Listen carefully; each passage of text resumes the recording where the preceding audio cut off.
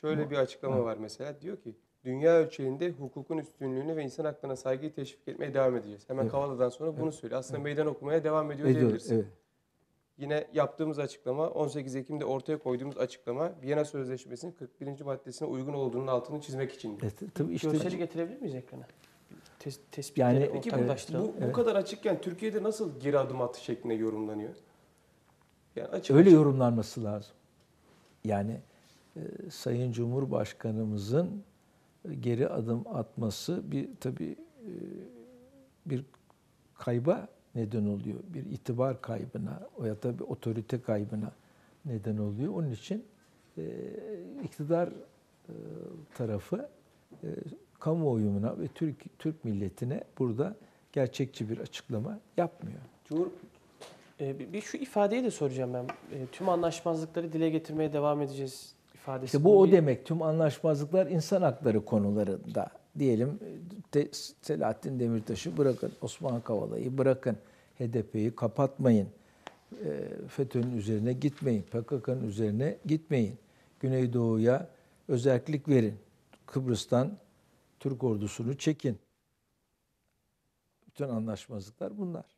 Ermeni soykırımı yalanını kabul edin. Yani Amerika Birleşik Devletleri'nin ve Avrupa Birliği'nin Türkiye hakkında bugüne kadar aldığı kararlarda anlaşmazlıklar var.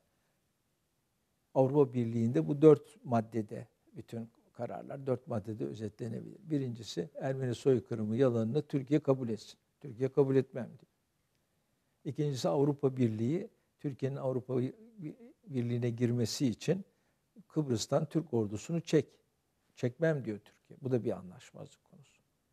Üçüncüsü Güneydoğu'da özellik şey yap, e, kabul et.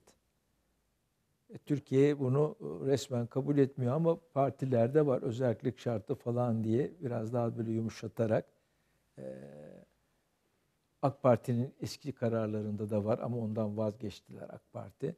Ama Cumhuriyet Halk Partisi her kurultayında e, özellik e, Güneydo ya, e, Güneydoğu'da bir e, tür özellik şartı e, kabul ediyor. Ha, şu, dördüncüsü de Avrupa Birliği'nin Türkiye'de yaptığı neoliberal ekonomi programını uygulayacaksın diyor. Anlaşmazlıklar buralarda.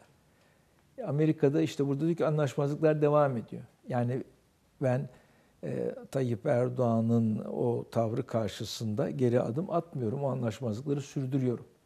Zaten Avrupa Birliği'nin ya da Amerika'nın geri adım attığını söylemek için şunu söyleselerdi. "Ha, Biz e, Türkiye'nin iç işlerine karışmakla hata yaptık. Yani özür dilemeye de gerek yok. Biz Türkiye'nin işlerine karışmakla hata yaptık. Ve iç işlerine bundan sonra karışmayacağız, saygılı davranacağız falan deselerdi tamam hakikaten geri adım olurdu. Ama Türkiye'nin iç işlerine karıştık demiyorlar. Biz yaptığımız şey doğrudur diyorlar. Viyana Sözleşmesi'nin 41. maddesine uyuyor diyorlar ve biz bu tutumumuzu muhafaza ediyoruz diyorlar.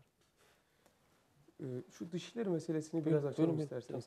E, Erdoğan Sayın Cumhurbaşkanı'nın açıklamasından sonra iki gün bir sessizlik oldu. Hafta sonu tatili girdi e, şeklinde yorumlandı. Sessizlik oldu. Vatan Partisi'nde sessizlik olmadı. Evet, orada. Vatan Partisi dışında. Aslında sesler çıkmaya başladı. Şöyle mesela Kavala'nın eşi çıktı dedi ki Dışişleri Bakanlığı'nı ikna edin. Dışişlerini ikna Evet. edin dedi. Evet. Ya da Karar Gazetesi iki gün boyunca ısrarlı yayınlar yaptı. Pazartesi günü bu kararın verileceği gün siz dediniz ya aslında biz e, karardan önce kanala bağlandık ve açıklamalar yap- yaptık. İşte aynı zamanda Amerikancı kuvvetler de bir yerden e, oraya ikna etmeye çalışıyor. Karar Gazetesi o gün Dışişleri direndi manşetiyle çıktı. Şimdi bugün de e, yanlıştan dönüldü e, manşetiyle çıktı. Karar Gazetesi Davutoğlu'na yakın e, ile biliniyor. Şimdi e, ne var bu dışişlerinde? E, Şimdi bakın e, Birkaç ne iddia var? daha var efendim. Ha, Onu da ben ekleyeyim. Bugün mesela Muharrem Sarıkaya yazdı. Ee, Ankara'dan topladığı bilgileri. O da dışişlerinin bu 41. maddeye atıf yapın e, vurgusunun dışişlerinin yani bizim Türk dışişlerinin önerdiğini söylüyor. E, yine Amerika tarafına mı önermiş?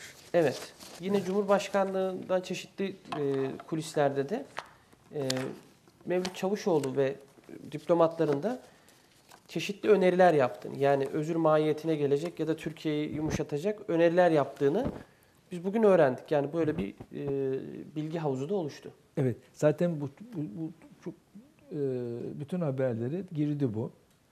Hatta e, Sayın Mevlüt Çavuşoğlu'nun istifa e, ederim eğer siz e, büyükelçiler hakkındaki kararınızda ısrar ederseniz istifa ederim dediği falan da söylendi. Bugün ona bir yalanlama geldi. İyi, güzel. Onu İletişim. Başkanlığı tarafından. Ha, tamam. Ee, öyle bir tehdit e, yapmaz zaten. E, yapmaz. Ama e, bakın bugünkü aydınlıkta, e, ayda bugünkü aydınlığın birinci sayfa manşetini e, belki gösterebiliriz. Orada e, diyor ki aydınlık, Cumhuriyet Halk Partisi, İyi Parti, Gelecek Partisi, Davutoğlu, efendim Babacan, Abdullah Gül falan saydıktan sonra monşerler, sayın monşerler diyor. Yani e, Vatan Partisi'nin açıklaması olarak Dışişleri Bakanlığımızda hepimiz biliyoruz e, Türkiye'nin Amerikan emperyalizmine karşı 6-7 yıldır cepheden bir mücadeleye girmesine rağmen bir Atlantik eğilimli diyelim e, bir şey var. E, tortu var yani. Onu e, görmezden gelemeyiz. Zaten o burada da ortaya çıktı. Yani o, onun Cumhurbaşkanı'nın karardan vazgeçmesini sağlamada da önemli bir etken olduğu gözüküyor. İşte mesela burada ne diyoruz bakın. CHP, İYİ Parti, HDP, PKK, FETÖ, Abdullah Gül, Saadet ve Gelecek Partisi, Sayı Bonşerler ve Sözcü Cumhuriyet Karar Gazeteleri hepinize sesleniyoruz. ABD'nin kucağında yalnız değilsiniz. Hani bunlar şey propagandası yapıyordu. yalnız kalıyoruz. Bu büyükelçileri göndermekle ya- yalnız kalıyoruz. Nerede yalnız kalıyoruz? Tam tersine biz dünya ile birleşiyoruz. Asya ile birleşiyoruz. Afrika ile birleşiyoruz. Latin Amerika ile birleşiyoruz. Hatta Avrupa'nın ba- bazı ülkeleriyle de birleşiyoruz. Ve Avrupa'nın diyelim bu büyükelçiler e, içinde tweet atan büyükelçiler içinde kalan bazı ülkelerinde bile e, Türkiye'nin bu tutumunu destekleyenler oldu. Mesela Alternatif Partisi Almanya. Almanya'da üçüncü büyük parti ve iktidara doğru ilerleyen bir parti. O Ta- Tayyip Erdoğan haklı dedi. Hem de milliyetçilikle ve İslam düşmanlığıyla suçlanan parti. Halbuki niye öyle suçlanıyor? Çünkü alternatif parti Amerika'ya karşı. Ee, şu, şu da dikkatimizi çekti bu 10 büyükelçinin açıklaması. Geçmiş dönemde de büyükelçilerin çeşitli faaliyetleri gündeme geldi. Hep Batı ve Atlantik. Mesela Rusya, İran, Çin ya da Orta Asya'daki Türkiye Cumhuriyetlerde filan biz Türkiye'nin anlaşmazlıkları elbette oluyor. Ee, ama Türkiye'nin iç işlerine müdahale anlamına gelebilecek en ufak bir şeyi bile bir Olmaz. anlaşmazlığın Mesela gündeme bir geldiğini Çin- görmedik. Çin Büyükelçisi, bir efendim bir e, Rusya Büyükelçisi falan böyle şeyler yapmazlar. O Yapmazlar. ülkelerin başka ülkelere yaptığına dair de bir başka ülkeleri de yapmazlar. görmedik. Rusya'nın büyükelçisi canını verdi. Türkiye, Evet, evet. Amerika'nın. Peki efendim bu tortulardan bahsediyorsunuz ya Parti içindeki At- Atlantikçi eğilime. Ee, bu Atlantikçi eğilim AK Parti'yi zayıflatıyor mu yoksa diri mi tutuyor sizin gördüğünüz? Yani seçimlere Yani giderken de bu- zayıflatmanın ötesinde Cumhurbaşkanı'na kurulan tuzakta rol oynuyor. Onlar tek başına bu kararda etkin olmadılar tabii. Yani Amerika var, Avrupa devletleri var, işte e, Biden tayfası var falan. Yani bu ağırlığa ek bir içeriden de bir e, Tayyip Erdoğan'a yönelik bir darbe geldi. O tabii e, onun gücü çok fazla olmayabilir ama içten olduğu için her zaman içten gelen darbeler e, özgür ağırlığın ötesinde e, etki yaparlar. Onu e, görmemiz lazım. Yani onun için zaten Atatürk ne diyor? E, iç, iç, iç cepheyi sağlam tutmak esastır diyor. Yani iç cepheyi sağlam tutarsan savaşlarda başarının birinci şartı. AK Par- bazı AK Parti yöneticileri bizim temas ettiğimiz biz içimizdeki küreselcileri temizledik diye övünüyorlardı. Ee, İşte Ali demek Babacan temizleyememişler. Temizleyememişler. Ha, bir de şu olabilir. Küreselci veya Atlantikçi değildir de korkaktır. Korkaklar da burada Atlantikçiler e, terazisinin kefesinde e, ağırlık Vatansever kaygılarla yanlış kararlar verilebilir mi? O da olur. Yani Korkak- ekonomi kötüye gidiyor. Şimdi ya- Amerika bi- bize öyle yaptırımlar uygular ki, öyle e, cevaplar verir ki biz bunun altında kalırız. Bu bir hesap kitap meselesi. Yani bunları hemen Atlantikçi diye suçlamamak lazım. Yani bunlar da var. Böyle bu hesabı kitabı ya- yapanlar var. Veya kor- korkaklar da bunlarla biraz beraber. Yani korkuyorlar Amerika'dan. Vatan Partisi dikkat ederseniz birkaç yıldır diyor ki Türkiye'ye Amerika'dan korkmayan bir hükümet gerekli. Bir daha bu akşam söylüyorum. İçine girdiğimiz süreçte Türkiye'ye Amerikan emperyalizminden korkmayan bir hükümet gerekli. Aynı e, diyelim Birinci Dünya Savaşı ve devamında yani İstiklal Savaşımız boyunca İngiltere'den, Fransa'dan, Çarlık Rusyası'ndan korkmayan bir hükümetle İstiklal Savaşı yapabilirdik. İttihat Terak- Terakki korkmayan bir hükümet. Kalktı 29 Ekim'de 1914 gitti Rus donanmasını vurdu Karadeniz'de.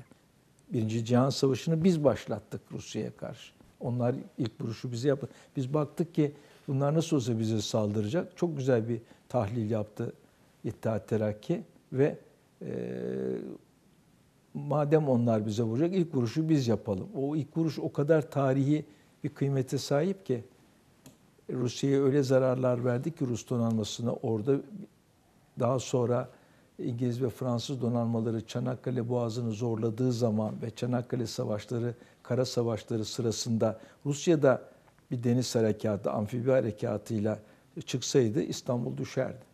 Şimdi siz daha önce Ermeni soykırım meselesi gündeme geldiğinde... Ha, buradan şimdi korkmayan, onu siz unutmayın. Yani o korkmayan hükümet Mustafa Kemal ile devam etti. Yani İttihat Terakki korkmayan bir hükümetti ve doğru olanı yaptı. Yani düşman İngiltere, Fransa ve Rusya, Türkiye'yi bunlar paylaşmak istiyorlar. E, burada onlarla savaşan Almanya bizim dostumuz. Çok doğru. Almanya ile birlikte olmak Birinci Dünya Savaşı'nda tek seçenekte. Ee, İkincisi savaşı da e, biz başlatalım. İlk vuruşla e, belli bir üstünlük kazanalım. O da isabetli bir karardı. O da cesur bir karar. E, Onun devamında diyelim e, evet savaşta yenilgiye uğradık ama o savaşa girmeye mecburduk.